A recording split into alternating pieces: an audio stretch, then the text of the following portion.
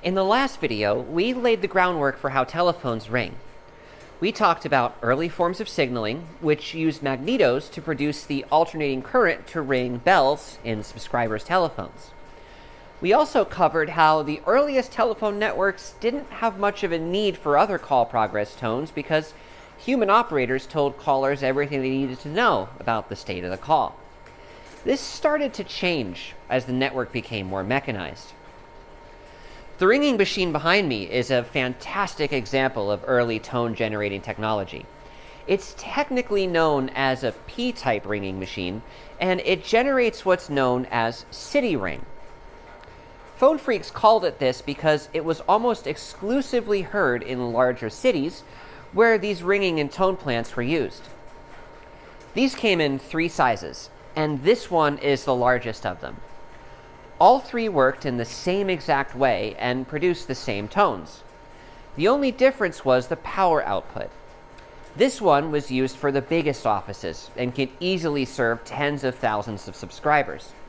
The smaller ones, up to 10,000. If you're anything like me, when you first see this ringing machine, you're probably thinking something like, why the heck did they need something so complicated just to make sounds? It's easy to forget that before we had modern solid state electronics or even vacuum tubes, many of the best ways to do things involved spinning metal of one kind or another. We don't know exactly where this machine came from. If anyone wrote it down, I haven't found out about it. What I do know is that it's from the 19 teens and it's actually missing most of its auxiliary components like the control and distribution frames that it needs to operate. Also, I'm told that it was dropped when they brought it here, and they repaired it with Bondo and painted over it. Finally, its table is missing the heavy slate top that it used to have. These pipes are to carry the cabling off the machine and through the slate to go under the table and out. But instead, they're just screwed to the metal table and if you look underneath, it's totally solid. This machine does spin very nicely, so it could run, but I don't think it'll ever ring phones again. At least not without recasting the steel in the middle part here. But it does make a lovely static display. So let's talk about how this machine works, because it's really cool. First, we have a DC motor and an AC motor. These didn't run simultaneously. The smaller, less complicated AC motor powered the machine under normal circumstances, and the DC motor only kicked in if there was a loss of power on the AC side. The switch between AC and DC is handled automatically, with almost no reduction in speed. This is a function of the large control panels that would have accompanied this machine. This ringing power board contains the equipment needed to sense variations in speed and voltage, and can be used to control which motor is running and the output volume of the ringing machines. This combined AC-DC operation isn't unique. The motors that drive the panel switch run on both AC and DC as well, and can switch between them as needed. Because motor technology was not highly developed in the 1920s, you always had to start on the DC motor and then switch to AC once everything's spinning. The next part of this machine isn't really used for tone generation, but we should talk about it anyway, since it's an important part of the ringing machine's function.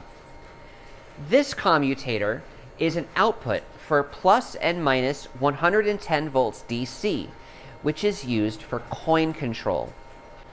When a payphone collects or returns your coin, a positive or negative DC voltage is applied to the coin relay inside the phone. One polarity will cause the phone to return your coin, and the other will cause the coin to be collected. Talking about payphones is outside the scope of this video, but it's important to mention that the voltage to control them is sourced from this machine. Why here? Well, before silicon diodes became a commonplace, one of the easiest ways to make high current DC was with a motor generator, and since we already have this big thing spinning in the basement, we might as well get everything we can out of it. In the center of this machine is a magneto, just like the ones from the last video. However, this generator can crank out a lot more power than the little magnetos we covered last time. One reason is that this doesn't use permanent magnets. Instead, it uses an electromagnet, which is supplied with juice from the coin generator that we just talked about. That same DC is used to excite these field coils, which energize these hunks of cast steel, creating a strong magnetic field that this coil of wire spins inside of. The spinning coil creates 6 to 8 amps of 20 hertz ringing current at 80 ish volts AC. The ringing power is taken from these collector rings on the right side of the generator. From here, it goes through control and distribution circuitry before it reaches the switch and is sent out to subscribers. To the right side of the ringing generator is the tone alternator. This creates many of the tones you hear on your telephone, like dial tone, ringback, and busy tone. And through the magic of having six of them, I can show you the inside.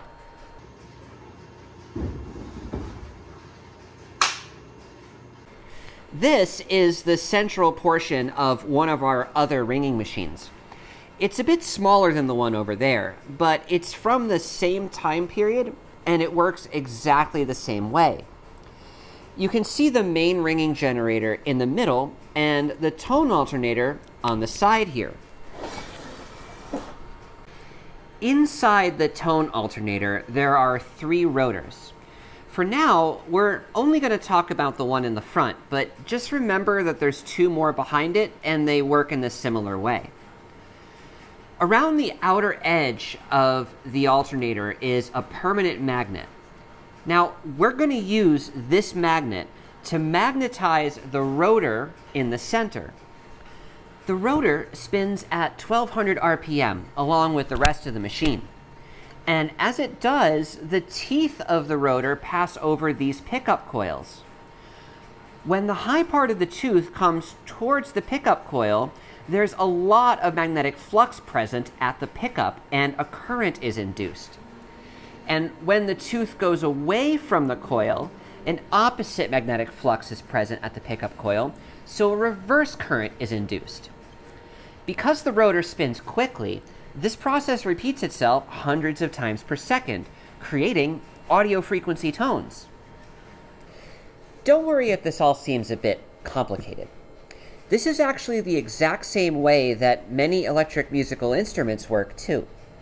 One example is an electric guitar. Here, the spinning rotor's teeth are replaced by the vibrating strings, and the pickup coils in the tone alternator work the same as the pickups in the body of the guitar. It may be a different shape, but it's the same idea. And while we're making comparisons, it's even more similar to a Hammond organ, which uses tone wheels to create its awesome sound. It's super cool that there's so many parallels between how all these things work. The big difference is that when this ringing machine was invented, they didn't have vacuum tube amplifiers or really any easy way to amplify the tones for a transmission over telephone lines so the output power of this tone generator had to be quite high. But here's where our story takes an interesting twist. So far, I've been a little vague about exactly what sounds come from where on this tone alternator. Let's dig into that a little deeper. This tone alternator uses three tone wheels to produce three basic tones. High tone at 500 hertz which was used for internal telco functions. Low tone at 660, modulated by 120, was used for dial tone, busy tone, and reorder tone. Finally, ringback or audible ringing was at 420 Hz, modulated by 40 Hz. The modulations are introduced on purpose to roughen up the sound and make it more pleasing than a pure sine wave. So, what do I mean by modulate? Well, if you look closely, you can see that each pickup coil either has many turns of wire or only a few turns. As the teeth of the tone wheel pass by these different coils, there's either a high amplitude wave or a low amplitude wave, depending on which pickup they're passing by. For example, if we take a sample of ringback tone and zoom way in, we can see the wiggles created by the teeth. And then if we zoom out, we can see that the overall amplitude of those wiggles goes up and down. That's the teeth passing over each pickup coil with a different number of turns of wire on it. Many turns, few turns. Many turns, few turns. And the result sounds like this. Now, I had questions about this. For one thing, why did they choose to do it this way? What's really going on here is that this tone alternator wasn't the original sound of this machine at all. The tones from the alternator were chosen mainly because they were reasonably close to the sounds that telephone users were already familiar with. Let's take a closer look at this ringing generator and we'll see our first clue that hints at the real history of these machines. There are three brass rings here at the right side of the generator. The two outer ones are solid, and the power to ring the bells is taken off here and fed into the rest of the ringing circuitry before it reaches the telephone switch. The center collector ring is different. It has six segments, then a solid part, then six more segments, and then another solid part. Notice anything strange about the center ring? It has no brushes on it to pick up the output. There's one for the right ring up here, and one for the left ring down there, but none in the middle. The wire that used to go there is cut off too. What's going on with that? Well, it turns out that the ringback tone used to come from here. Before the 1930s, the ringback tone, known as audible ringing, was generated from the same current that rang the bells. This center collector ring was used to modify the harsh 20 Hz AC and generate more pleasing harmonics. This modified sound was fed into the switch, where it was capacitively coupled back towards the caller, while the power ring was sent forwards to the called party. So the ringback that you heard was a filtered version of the actual current that rings the bells. And it sounded something like this. And the other tones were pulled off collector rings too. In this photo, we can see the same type of ringing machine, but instead of a tone alternator, it's got rings for dial tone and busy tone. Unlike ringback, these tones were generated by just interrupting the DC battery power.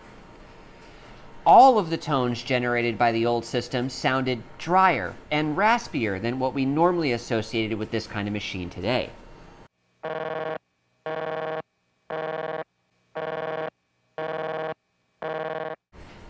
This way of doing things had problems, though. In heavily loaded offices, the collector rings were burned by the constant sparking of the brushes and had to be regularly polished in order to keep the tones at a reasonable volume and quality. So the tone alternator was introduced in order to fix this problem. Most of these machines were modified to add the alternator in place of the busy and dial tone interrupters, and the brush for the ringback interrupter was just removed altogether. The main takeaway here is that this machine sort of had two lives. First, it used collector rings and high speed interrupters to generate harsh, raspy tones from the 20 Hz ringing AC or from rapidly interrupted DC.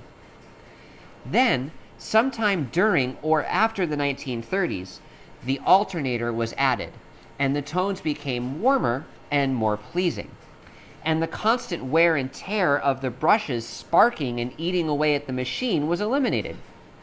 Huh.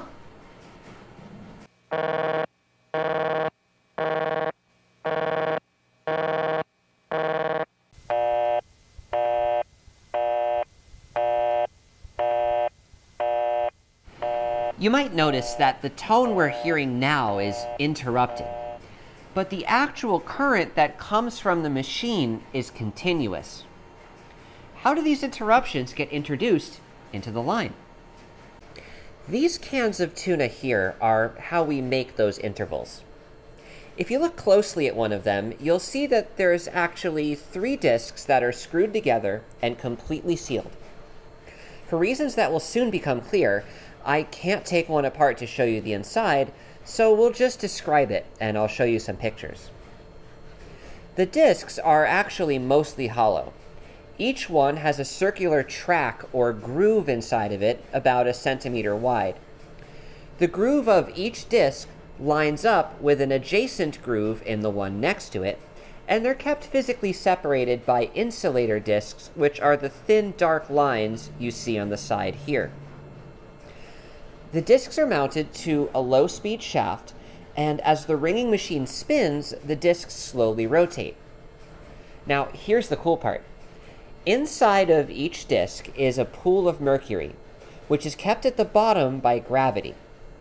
Normally, the pool of mercury in one disk is kept separated from the adjacent pool in the next disk by the insulator between them. But each insulating disk contains strategically placed holes or ports.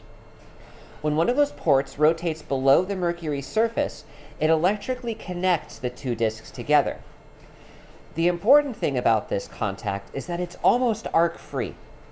Unlike a brush riding on a commutator, the mercury exists as a liquid in a partial vacuum filled with nitrogen, and it's not affected by erosion or oxidation like a solid contact would be. This makes it ideal for switching heavy loads repeatedly. Now, eventually, the port in the insulating disk rotates out of the pool, and once again, the adjacent disks are isolated from one another, and the signal is cut off. The timing and arrangement of the ports on the insulating disc determines the rhythms of the tones. Each time the port dips into the mercury, you hear a tone, and when the hole rises above the mercury, the tone is cut off. The tones are pulled off the discs by these carbon brushes that are arranged into these assemblies. Each set of discs provides a specific tone, depending on the needs of the central office. There's pretty much always certain ringing codes, a busy signal, and a fast busy or reorder. In order to spread the ringing load, there are three different sets of interrupters, each offset by one third of a rotation. This way, there's always one on and two off for any given period, so the load is distributed evenly. I mentioned earlier that the ringing machine itself is only part of the story. These pallets contain some of the equipment that's needed to manage the machines and control the distribution of tones. Here in our storage, we've got quite a little zoo of ringing machines. And in a future video, we'll talk about this equipment, how we got it, and I'll show you the differences between the older P-type and the newer city ring machines that were manufactured not by Western Electric, but by General Electric. I want to take a minute to thank all the people who came before me and did most of the hard work and research that I used in this video. In particular, thanks to Evan Doorbell for the audio samples, and to AtlantaTelephoneHistory.org for documenting the many behaviors of these ringing machines.